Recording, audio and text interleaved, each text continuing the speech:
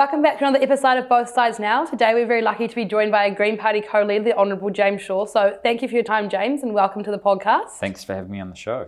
So we start every podcast with the episode, with a question about your political ideology and, and philosophy and which one you identify with.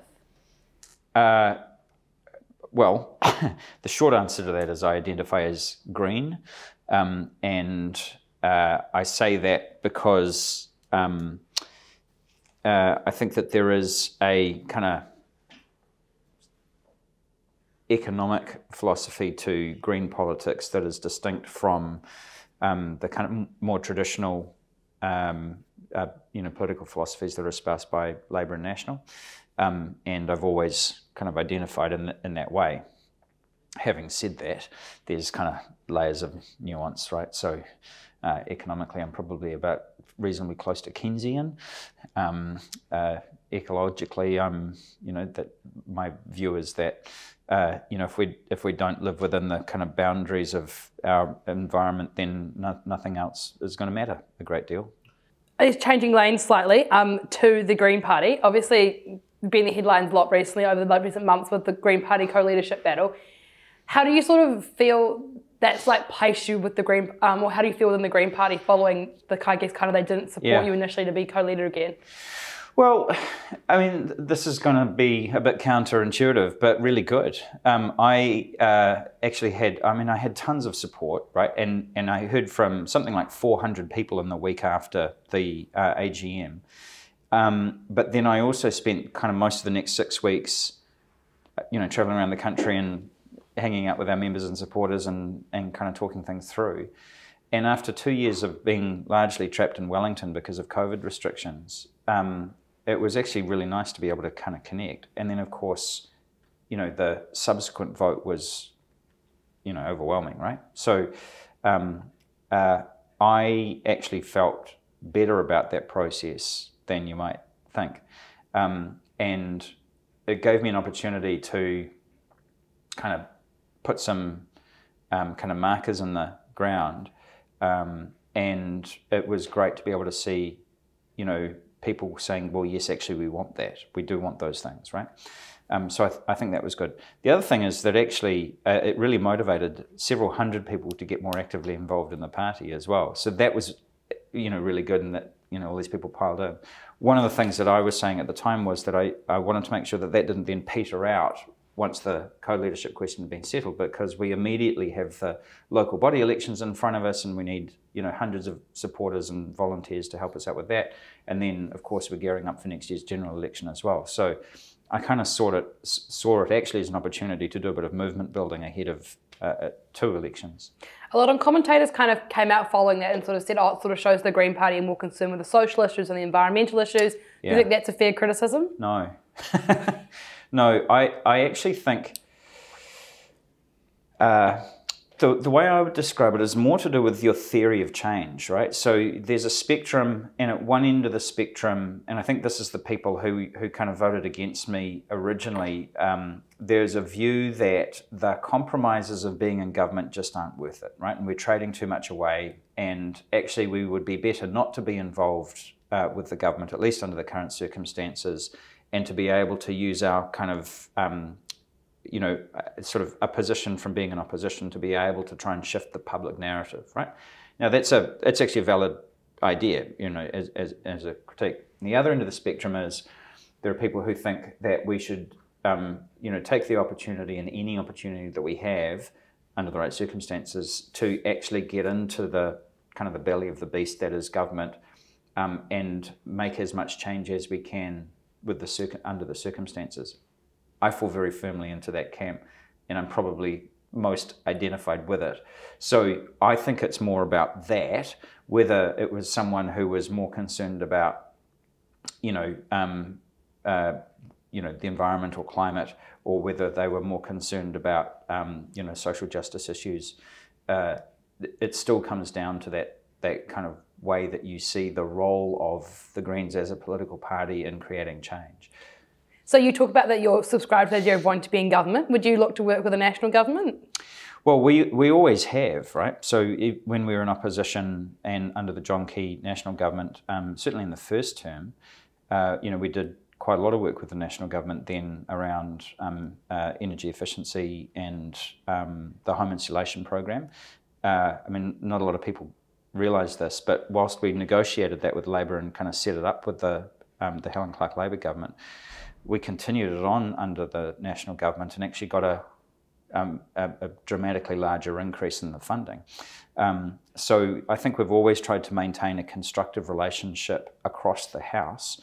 Um, uh, I think it's unlikely that we would look to enter any kind of coalition um, because, you know, the, you know, if you think that we're finding it tough to deal with the compromises that we have to deal with under a Labor government, the compromises that we would have to deal with under a national government, I think would probably uh, stretch us far too far, unless uh, National themselves underwent a fairly radical kind of policy overhaul. What are some of the compromises you feel like you're making working with Labor? Well, the I mean the, the kind of obvious like tax reform, you know, like we've we've always wanted a, a far more progressive uh, tax uh, regime and um, you know, the kind of emphasis that we have under the current tax system around um, taxing people who work but not, you know, people who own, um, and and so on is inherently unfair, but it also shortchanges um, uh, the public service and it shortchanges um, people who uh, work for a living and have to pay income tax. Um, but it also uh, produces other kind of weird things in um, our economy like a massive over uh, investment in the housing uh, market and not in the productive parts of the economy. So we've always had that. It was hugely frustrating not to get that over the line and to have that ruled out for this entire government because um, it's not like we're anticipating that National will uh, kind of come in on that. So you know, there's that. There was that, um, and then uh, you know, there's there's kind of there's just kind of frustrations everywhere, right? Because you, you know we're a, a pretty radical party. We want to go um, pretty fast on on things. I think if you look at um, you know the increase in inequality and the increase in emissions uh, and the degradation of our biodiversity, these are things that we've been talking about for three decades, and we've been proved right on them. And now it's kind of like, but if we've been proved right on it, surely we should kind of crack on and do something about it, right? Um, but it, we've just got a very incrementalist body politic. Do you think the Greens would ever grow to being a 40, 50% party? Well, I, I don't think it's healthy for anybody to be a 50% party. Um, uh, I do think that there's a lot more potential for, um, talking about different forms of growth, uh, for, for the Greens to be a larger party. And if you look at more um, uh, uh um, mature proportional representation parliaments in Northern Europe, say, where they've been doing proportional representation since World War II, um, then uh, you know you do see um, more fluidity um, and more balance between the parties. I think we've still got a very kind of first past the post political culture, even though we're you know two and a half decades down down the route with MMP. In, in, my first economics lecture, I was told economics is a study of how we allocate scarce resources more efficiently. Pretty much everything we talk about, it's economic growth in business and government. Now we've grown to the point where we've massively exceeded the Earth's carrying capacity. Do we need degrowth now? Is that the only answer? Yeah, but but I think you I think that you can be unsophisticated about that or sophisticated about that, right? So um, often when we talk about um, growth, we talk about gross domestic product. Mm-hmm. And gross domestic product is just economic throughput, right? It's just a flow of activity. You know, and every time you add a human to the population, you get economic growth because the activity of that person feeding themselves and you know, housing themselves and clothing themselves adds to GDP. Um, we need a ton more wind turbines and solar panels and so on and so forth, those things will add to GDP. So there are some things that I think that we need to grow. I also think that there are some things that we need to shrink. Um, and so, you know, we need to shrink uh, and, and in fact eliminate the use of fossil fuels. Um, and, and so the kind of net effect of, of that on GDP is, is almost inconsequential um, because the question is um, are you are you growing the things that are good and are going to serve us well, and are you eliminating the things that are not? And GDP counts both, and it doesn't distinguish between between them. So um, we know that not you know if if everybody on Earth lived like we do, uh, we'd be well past this, you know, point of collapse, right? So, so we are going to need an economics um, that allocates increasingly scarce resources to an increasingly large population. So, by definition, there's uh, at the very least a lot of efficiency that's involved in that. Do you sort of have a, if you had a magic wand, how would you go about fixing that? Do you have an ideal world you could solve the problem? Uh, well, I don't tend to spend a lot of my time thinking about in an ideal world if I had a magic wand because that would just lead to frustration. um, but you know, if if you look at what I'm doing in the climate change space, um, uh, the the kind of the mission there is to decouple our um, carbon dioxide emissions or our greenhouse gas emissions from economic activity, whether that whether that activity is going up or down. Uh, you know, it is possible that you can increase economic activity and decrease your emissions simultaneously. And there are only about 20 countries in the world that have actually pulled that off yet, but we all need to do that. Now, if you do that and you see economic growth, you know, continuing upwards and emissions continuing downwards, is that degrowth? You know, that probably wouldn't count as degrowth, but it's degrowth in emissions, and that's a very good thing. Um, and, and the way that I sort of see it is this is a this is a multi generational challenge and so I sort of see my job as to uh, to kind of break those two things apart. Now, over time and in the future, there will be other things that decouple as well, um, and so that could ultimately end up as a kind of a degrowth scenario, right? But it, but it's it's not as sort of simplistic as saying, well, we just need to shrink everything, you know, which isn't wildly popular. One of the key values um, or, or, or, key defining features of a neoliberalist um, perspective is, is limited government, but that the fundraising for that limited government should come from taxing externalities. Mm. That's something we don't really do. Most of our um, government income comes from GST income tax. Mm. Philosophically, should we be increasingly looking to revenue raise from the bad stuff in society, yeah. like sugar, yeah. plastic tax, carbon tax, nitrate yeah, taxes? Absolutely. Yeah, absolutely.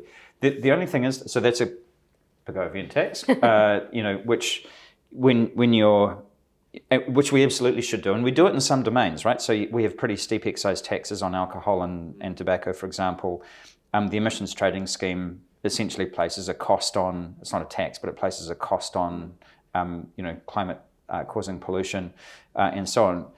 And people keep asking me, what do I think the ideal carbon price is? Well, I think the uh, ideal carbon price is actually zero because you wouldn't need it because there wouldn't be any pollution. And so, whilst I think that we should be um, using environmental taxes, you know, much more than we do, and other countries use them much more than we do, uh, you also have to sort of assume that revenue from those things is going to decline at some point because people will eliminate the use of those things. And therefore, government revenue is going to need to come from somewhere else. So you're always going to need a, I think, a diversified sort of portfolio of revenue streams for government. A common metric for um, climate change policies is the dollar value per tonne in emissions sequestered or avoided from that policy. Mm-hmm. That's not really one of the key um, statistics that leads in the emissions reduction fund. For example, the clean car rebate policy, it's yeah. like $350 a tonne for emissions reduction. Yeah. Why should taxpayers be paying for that as a policy when there's you know potentially you know $50 native um, native forest carbon credits where you could get seven times the climate impact per dollar spent? Well, a couple of reasons. Um, one of which is that um, so the the clean car discount you have to remember is at least in theory revenue neutral because um, the rebates that go to people who buy EVs and low, low emission vehicles is paid for by um, people who are buying the most inefficient polluting mm. vehicles. Mm. So it's not. But you could spend that money on another project. Yeah, we could, but if you wanted to get the same result uh, in terms of decarbonising our transport fleet from the emissions trading scheme, you'd have to have an emissions price of about $500 a tonne, right? So um, I don't think anywhere in the world uses their carbon tax or their ETS as the only uh, tool that they have in the toolbox. The other thing is that there's a difference between gross emissions and net emissions, right? So gross emissions being what we put into the atmosphere, net emissions is what we pull into the atmosphere minus what we take out of the atmosphere. And um, we have uh, not yet managed to start getting the total amount of emissions down, i.e., our gross emissions. And that is actually the most important thing: is that those gross emissions start to come down. Because if you just want to plant your way out, you, you'll run out of land, right? If you stop, if you continue putting pollution into the atmosphere at the rate that we do, and then using trees to then try and pull at least some portion of that, that out, then then you just have to plant everything in, mm. in trees. On this uh, dollar value per ton metric, with the um, farm levy approach for the He Waka Eke Noa is um, it seems like the sector is in, at the moment, from my perspective, majority and behind the farm levy approach. Yeah. That um, will uh, potentially achieve a $13 million carbon dioxide equivalent uh, re- reduction in emissions for almost 0.7 billion um, in spending, and that's not counting all the money that the farmers will have to pay for the levy, which is a pretty, uh, which is a huge amount of money to spend for a relatively limited emissions reduction that we might um, we might have that emissions reduction anyway, just be, yeah. from market forces in the dairy sector. Is that an efficient policy? Do you think? Uh, run the numbers by me again. So 13 million tons of carbon dioxide equivalent reduction from 2025 to 2030. Yeah and 0.7 billion in spending. So this is like the number one. That's how you compare the dollar value yeah. per, per ton. He Waka Eke Noa hasn't even come up with that. And where does the 0.7 billion come from? Uh, that's what He Waka Eke Noa said. It's, it's it's roughly 300 and it's 640 million odd. Yeah. Yeah. Yeah. Well, and sorry, is that the total levies that that, that's the total uh, bureaucracy spending for oh, yes. Yeah, yeah. On top of that is the levy spending. Yeah. Yeah, I mean, the, the thing about if you want to run a farm level system, um, that is quite complex and it requires, you know, um, IT, it mm-hmm. requires mm-hmm. legislation, it requires regulations, it requires enforcement. Um, and uh, so it, it is a, you know, it's a heavy it's a heavy system to run to have every single farm in the country have a dashboard that they're able to you know calculate their their mm. on farm emissions, um, and that's the, that is the proposal that the that the sector came up with, right? So um, I uh, think that it's um, possible to do it for less than that, mm. um, uh, but you know, like I said, it's it's the sector's proposal.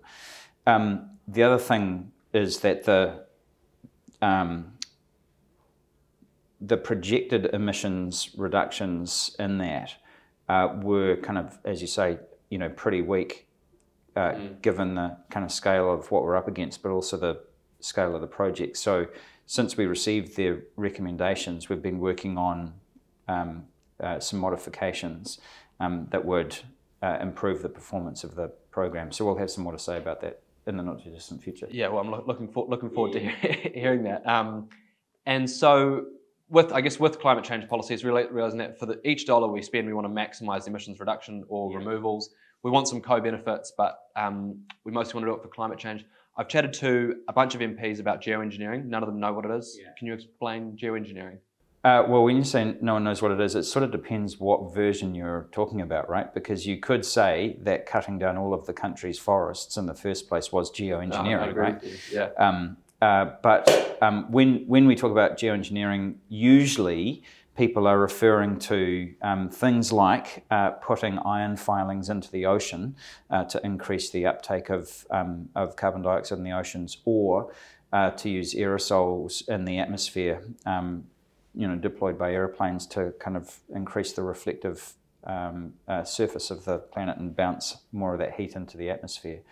Um, but, but you know, geoengineering could be could you know it's a term that covers a multitude of sins. Obviously, so it depends the, what you're asking about. Obviously, the Green yeah. Party's current policy stance is anti-GMO, anti-G sort of um, policies. Where do you stand on that, and do you think it's time for a change on that policy?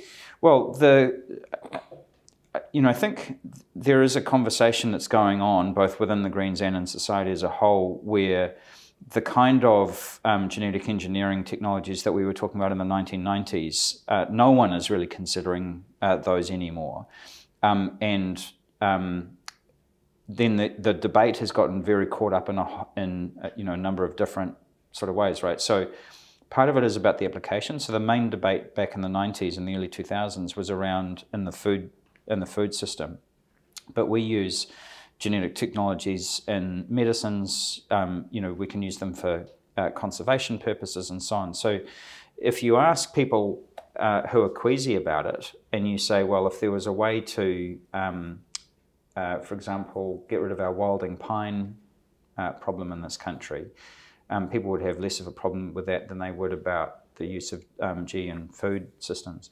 So there's first of all, there's a question about the application. Second of all, um, there's a question around safety. That's a scientific question. Third is a question around um, market acceptance, right? And I can tell you about a bottled water company in California that sells GE-free water, right? now that's kind of bonkers, right? Because of course water is, you know, two parts hydrogen, one part oxygen. It doesn't have a genetic component, but the level of concern amongst, you know, a, certainly a portion of consumers would say that actually people perceive GE free as pure. So then the question is, look, if the industry wants to go down, um, you know, introducing uh, genetic technologies, uh, what risk does that then have to Brands New Zealand or to, or to those industries? Um, and, and so that's another question. And the fourth component is around intellectual property control. And I, I don't think Monsanto did kind of anybody any favors uh, because the way that they you know controlled the IP and got you know very low income farmers in developing countries like India and so on kind of hooked on their product, um, uh, I think was rapacious. Um, and uh, so in, in any debate, you want to kind of be able to pick apart those those different elements. Do you think GE is going to be one of our solutions for climate change? I don't know. I don't know. I think maybe not polluting the atmosphere would be a good solution to climate change. Um, but but um, uh, you know, like I said, I think if you're going to, if the country's going to shift its stance, it needs to work through all four of those, all four of those components.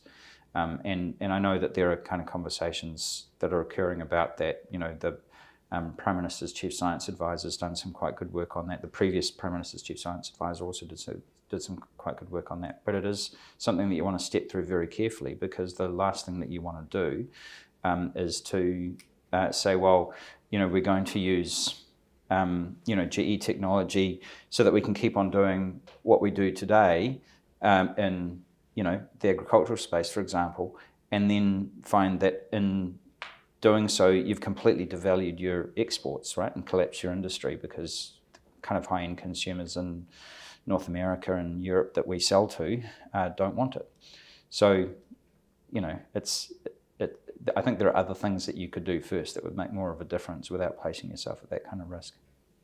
Most of the public now is against the idea of having pines in the permanent forest category, and I think a lot of scientists are against that. The two positives of leaving them in there are uh, a lower price in ETS, so there's less um, pressure passed on to everyday consumers, cost cost of living, and also um, some people stand to make a hell of a lot of money out of um, pine staying in the ETS, particularly some, um, you know, I, I, I guess uh, there's there's a notion out there that iwi business groups, perhaps, uh, you know, with a key lobbyer for y- yourself and Stuart Nash to keep it in. Is this a case of putting um, profit before climate and biodiversity? Well, the, you've got to remember that one of the other benefits of having fast growing exotics in the emissions trading scheme is that you sequester more carbon sooner, right? And the fact that those fast growing exotics uh, do sequester carbon at a much faster rate is why the economics of um, planting is so different between exotics and natives.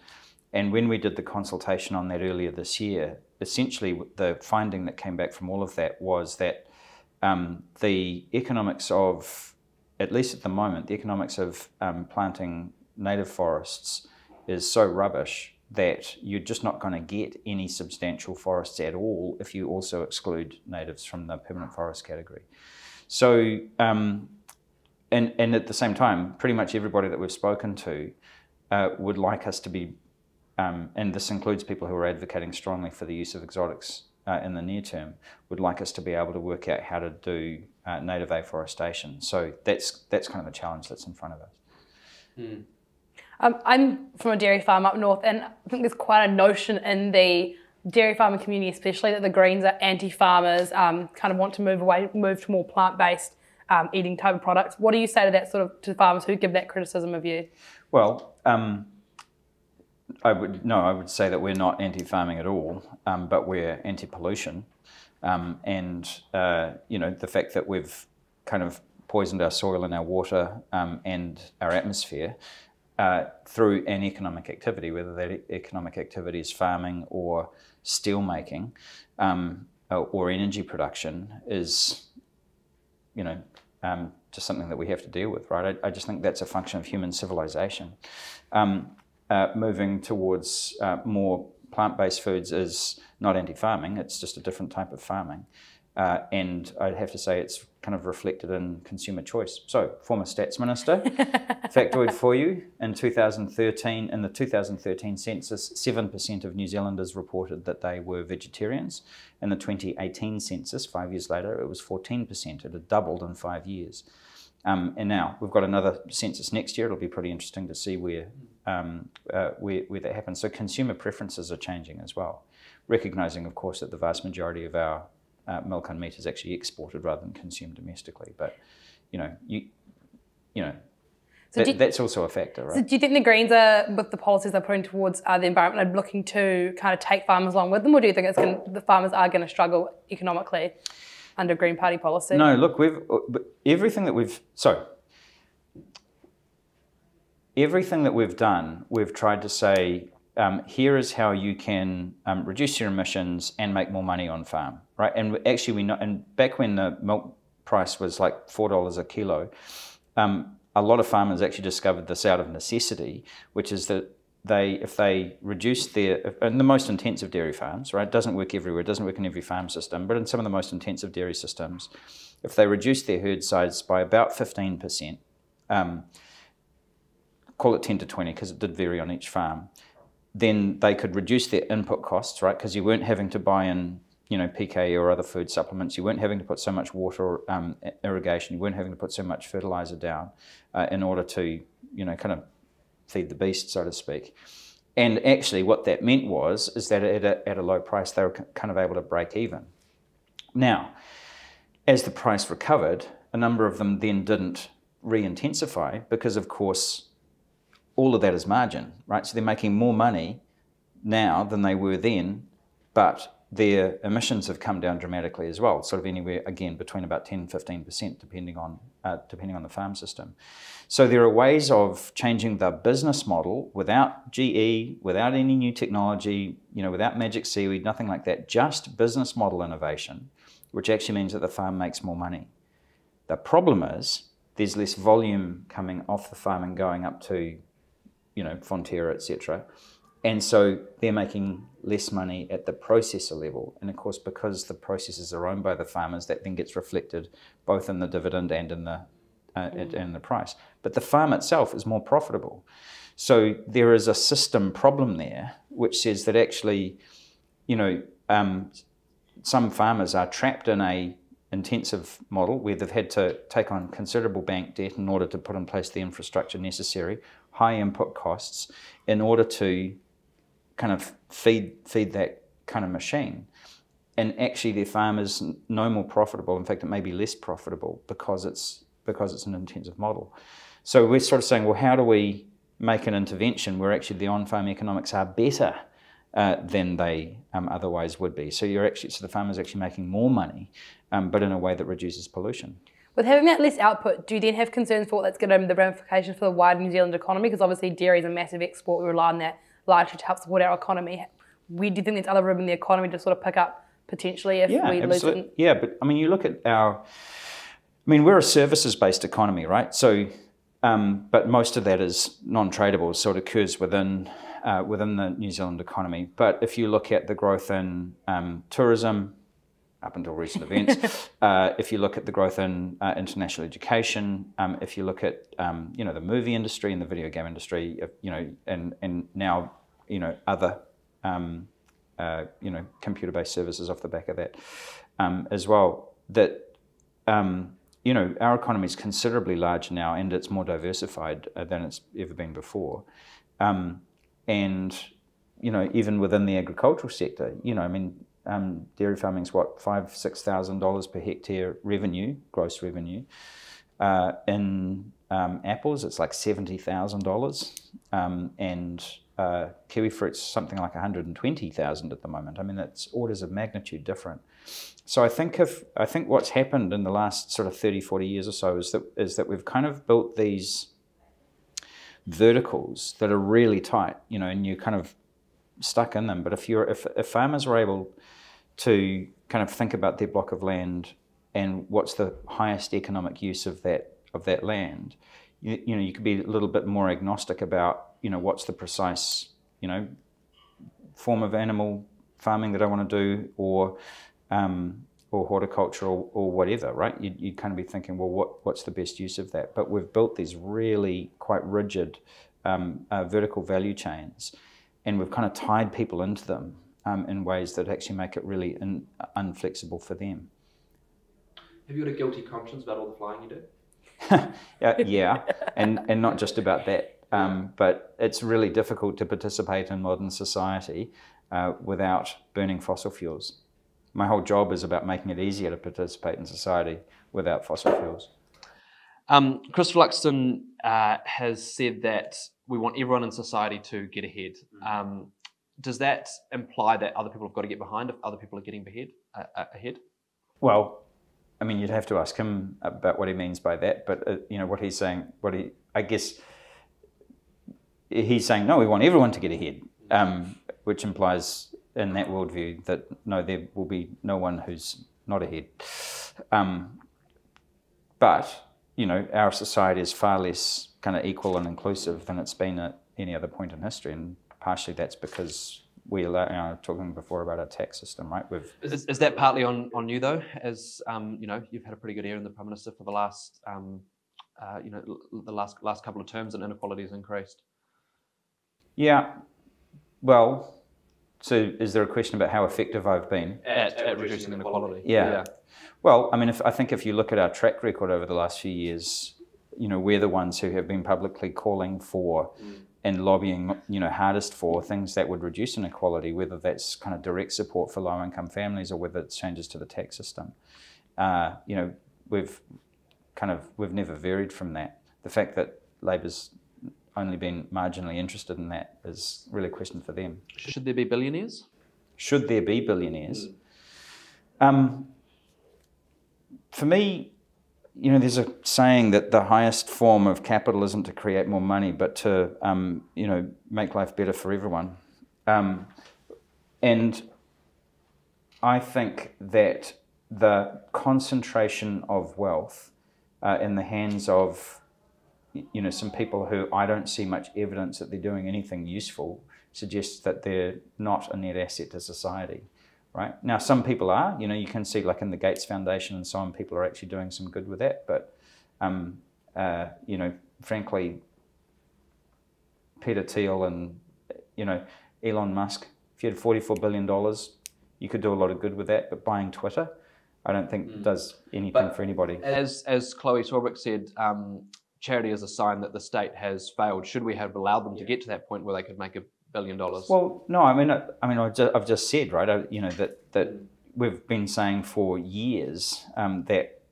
Uh, we need to be taxing wealth, not just work, right? But we've created the situation where people who kind of work uh, for a living pay a higher tax rate than than people who have wealth. But does taxing wealth not disincentivize people to work and to aspire to become wealthy through hard work? Well, that implies that um, uh, the cleaner uh, in your office doesn't work hard, right? They work really hard, uh, and they don't seem to have become a billionaire, right? So um, I think uh, becoming a billionaire is largely a matter of luck, um, and the kind of infrastructure on which people build that wealth is social infrastructure, right? It's like good schools and good, you know, transport links that kind of carry their goods up and down. Um, and generally, avoiding paying tax on those things means that you're creating wealth off the back of um, you know other people's labour, essentially. Uh, and so I, I, think it's I think it's a um, I think it's a misnomer, especially in this country where the vast majority of wealth is you know untaxed capital gain, uh, which people have got have actually had virtually no you know if I buy a house and it doubles in value. Have I worked hard? But what would, I guess my response there is what would you say to people, I guess like former Prime Minister John Key is a classic example that he came from a state house with a single mother and he managed to achieve all he's achieved. Like it's that just purely through luck that he's come up, been able to achieve that? Like he wasn't No, born into. No, it's not. Well, he's also not a billionaire, but he's but um uh, no, he he worked hard. But I'm what I'm saying is is that hard work is not the determinant of whether you become fabulously wealthy or not. There are a lot of people in this world who work exceedingly hard and have worked harder than John Key have. They put in longer hours and more sweat and toil, and somehow magically they haven't ended up as multimillionaires. Um, so the circumstances that you come from make an enormous uh, difference to whether or not you can get ahead in life. Um, and uh, and the not all wealth, but a lot of wealth uh, had nothing to do uh, with somebody working hard. You know, it was uh, just that the Reserve Bank happened to go through a period of quantitative easing, and guess what? Um, the value of everyone's houses went up by 25%. Well, good on you for all that hard work. you know, like it had nothing to do with you. Um, and, and so the fact that, you know, we don't tax that, I just find absurd, you know. To, to wrap up, I just want to explore this geoengineering idea um, quickly quickly once more. There was a paper, a, big, big bit of science came out lately and said even if we cut emissions to zero today, or you know, or, or let's say which, which is unrealistic, let's say we follow the IPCC guidelines, get to 1.5 degrees, we're still going to be at very high risk of um, kicking off these accelerating positive Yes. feedback mechanisms. Yeah. So, do we need to be, you know, exploring something bigger, i.e., um, ocean alkalinity enhancement, iron fertilization? There's a bunch of new ideas. We don't even really have a single, single scientist in New Zealand who's dedicated to Yeah. to that, or or is it just political dynamite? No, it's no. It well, it, again, it depends what you're talking about, right? Because everything, you know, in fixing one problem, do you then create another problem, right? And you just need to apply the precautionary principle at least a wee bit. But we absolutely do have to, right? Because if you want to hold temperatures to 1.5 degrees above the pre-industrial era, well, let's look at what the concentrations were in, in um, the pre-industrial times, somewhere between 260 and 280 parts per million. Now we're at 420 parts per million, right? So there's half as much carbon dioxide in the atmosphere, half as much again um, in the atmosphere today as there was 200 years ago. And you've got to get that from 420 parts per million back down to about 280 parts per million. Otherwise, all of the additional carbon dioxide that's in the atmosphere will continue to heat the atmosphere for as long as it's up there. So you've got to take out more than you put up. Much more. We've basically got to take out all the carbon dioxide we've put up over the last 200 years and store it permanently. Now, you cannot do that with trees because today's generation of trees can soak up essentially today's generation of carbon dioxide. But what we've done is we've taken the last 7 billion years worth of trees and dinosaurs and we've taken all of their carbon and we've added that into the atmosphere. And today's generation of trees can't absorb the last 7 billion years worth of everything that ever lived. It's not possible. So you're going to have to have some form of mechanical um, carbon capture and storage. Having said that, and there are technologies that are kind of getting there on that, and it is early days, uh, you've, you've got to make sure that you're not, you know, kind of creating some kind of you know massive future problem right? So messing around with ocean alkalinity and things like that sounds to me pretty damn risky. I think we should always do the science. We should also explore all, you know kind of all options. But there are other forms where you're you know you're kind of binding it minerally to essentially different forms of stone um, and then kind of burying it in an in inert um, you know uh, putting it back in a hole in the ground Got any got any climate tech you're excited about? Tons. I mean, one of the things that's really interesting to me here in Aotearoa is, you know, like we're trying to decarbonize our vehicle fleet. We're buying in EVs and stuff from offshore, but we're becoming quite good at um, electric marine, right? So, you know, Wellington, where I'm from, has got an electric ferry, first in the country. They're probably going to start manufacturing them for Auckland as well, um, but they're also looking at doing orders for offshore. Uh, tomorrow, I'm going to visit Sparky, the electric tugboat, which just won the International Tugboat of the Year award. Who knew that there was such a thing? But there is, um, and and so that's a world first. Actually, it's the it's the world's first um, fully electric tugboat in its weight class. Um, you've got the America's Cup Chasers boat, which is um, now powered by hydrogen rather than by diesel. You know, so we're starting to kind of take things that we're you know quite good at and develop little niches of expertise, and that's you know, there's your next export market, right? So, you know, that that to me is really exciting. Cool, James Shaw. Thanks so much. Thanks so much for your time. Really appreciate it. Thanks for having me on the show. Awesome, thank Cool. you.